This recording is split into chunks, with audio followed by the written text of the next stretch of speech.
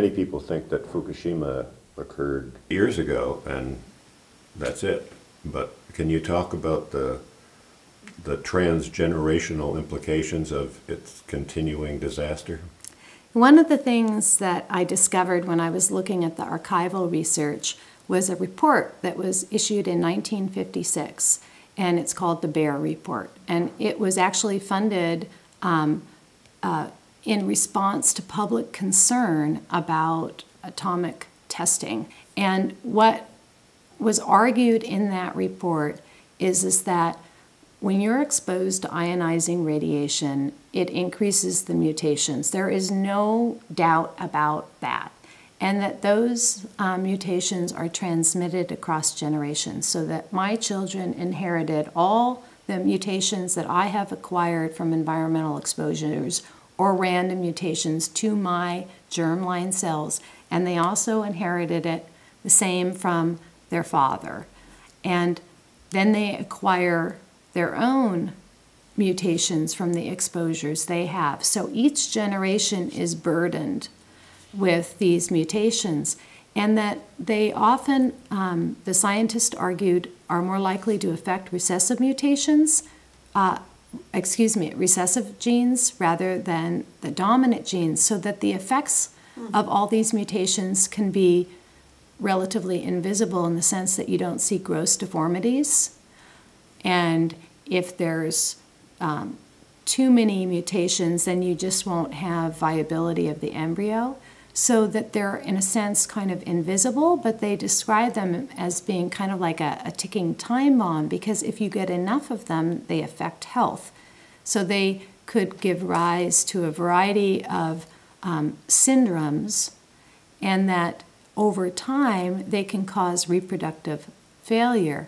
But you won't know until you have reached that point. And the um, science fiction film, The Children of Men, kind of plays on this, where you have relatively suddenly, within a few generations, uh, complete reproductive failure. But prior to that point, you're going to have increased disease incidence in the population. And we are seeing increased rates of diabetes, increased rates of neurological disorders in adults. Uh, they're occurring among people at younger ages, and the actual rate is increasing. It's not just that people are living longer. We're seeing increased neurological disorders in children. Um, we're seeing uh, increased incidence of immunological disorders. And these are syndrome diseases. And it's very interesting because this is precisely what they described in 1956. And if you look at um, the United Nations' own scientific committee for studying the effects of um, atomic radiation, they have described these um, syndromes that result from the accumulation of transgeneration mutations. And it looks a lot like autism, for example, which is a it's not a single gene disorder.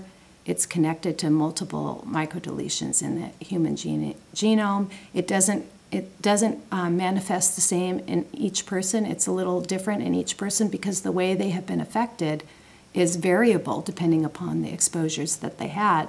So my concern is the concern that was laid out in 1956 is that we could be engineering our extinction through the you know acquisition of ever ever more mutations to our DNA, but we won't know it until it's too late. And I think that there's definite evidence that disease, um, especially neurological diseases, are increasing in frequency. And I think we better start paying attention to this potential, or it, it may be too late for us. There was just an NBC uh, expose the other day um, showing that the first impulse of the uh, regulatory agencies is to protect the nuclear industry from bad publicity rather than to protect the health of the population. Can you talk about that?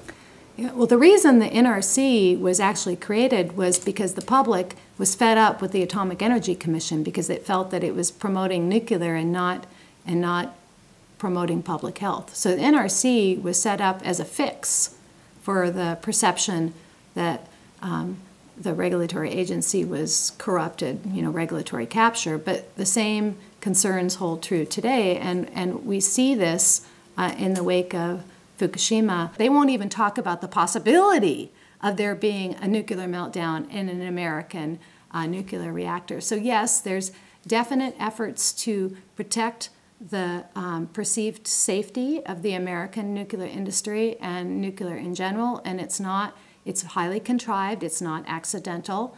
And you know, we could argue that it's propagandistic because it is not reflecting the scope of knowledge. It's reflecting um, the information that the industry wants the public um, to use when thinking about nuclear. And so it's it's interested. It's not neutral.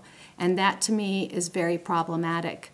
I just recently read a report from the California Department of Health Services Water and Radiological uh, Services Lab, and in it I could see that there were milk samples that were showing uh, radioactive iodine 131 and cesium 134 and 137 as late as June of 2012. Yeah, there's a plume of um, you know, contamination from the disasters that is circling the earth every 30 or 40 days, and that it comes down with precipitation.